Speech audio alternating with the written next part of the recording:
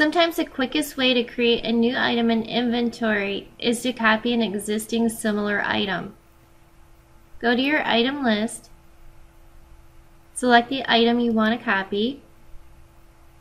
From the I want to menu, select copy.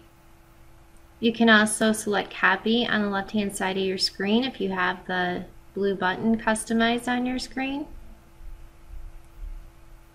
We're going to choose copy from the I want to list. The following fields are not copied onto the new item, such as on-hand quantity, the UPC, the alternate lookup, and the unorderable flag.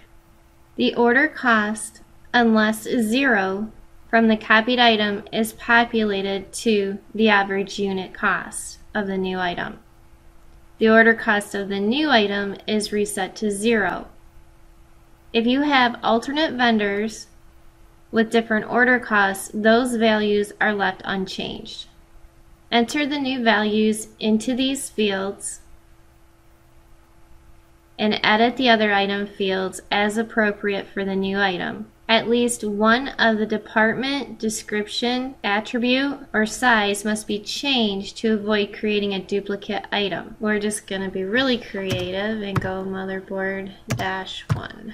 Click save and you copied your item and created a new one. And that concludes our video on how to copy an item.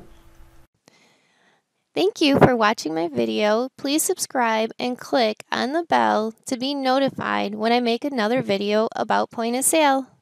Thank you everybody.